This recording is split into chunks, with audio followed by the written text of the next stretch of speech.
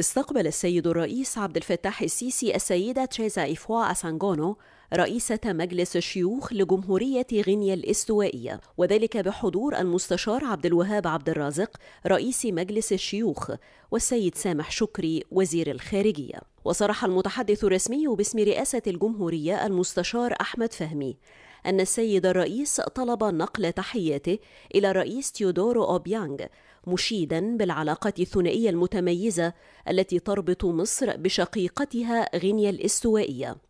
ومشيرا إلى الحرص على تعزيز التعاون بين البلدين في مختلف المجالات سواء على المستويين الثنائي أو القاري.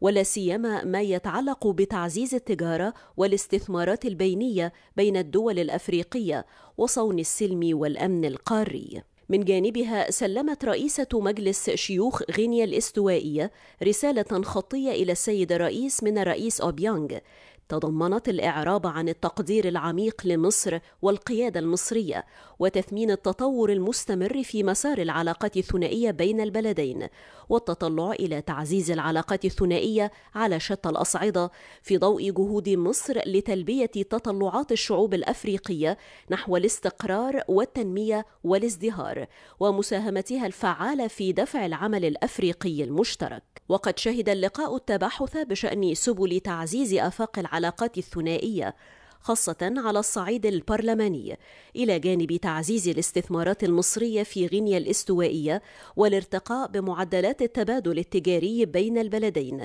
فضلا عن دعم تطوير وبناء القدرات والكوادر للأشقاء في غينيا الاستوائية في مختلف القطاعات. كما استقبل السيد الرئيس عبد الفتاح السيسي السيدة كاترين كولونا وزيرة خارجية فرنسا وذلك بحضور السيد سامح شكري وزير الخارجية. وخلال اللقاء تمت الإشادة بالتطور المستمر على جميع الأصعدة في العلاقات المتميزة بين مصر وفرنسا سواء على المستوى الرسمي بين قيادتي الدولتين أو على المستوى الشعبي. كما تم تأكيد الحرص المتبادل على مواصلة تعزيز أطر التعاون الثنائي في مختلف المجالات ومساندة الجهود المشتركة لتحقيق التنمية والازدهار ومكافحة الإرهاب والهجرة غير الشرعية.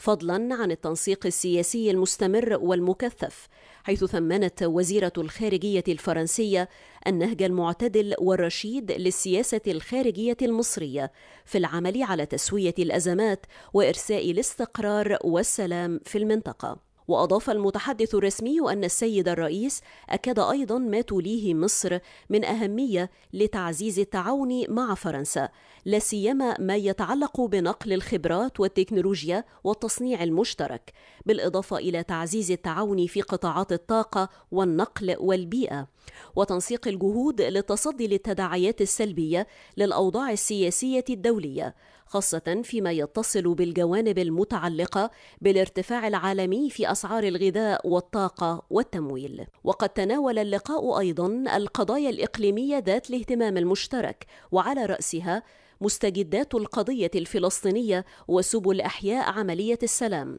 والجهود الجارية لتسوية الأزمات في عدد من دول المنطقة لا سيما في السودان وليبيا بالإضافة إلى الأوضاع في منطقة الساحل حيث أكد السيد الرئيس مواصلة مصر العمل بأقصى طاقة لدفع الجهود الرامية للتوصل إلى حلول سياسية وسلمية للأزمات القائمة.